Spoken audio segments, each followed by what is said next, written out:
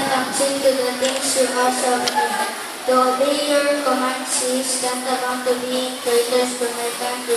I would prefer to die rather than eat sin.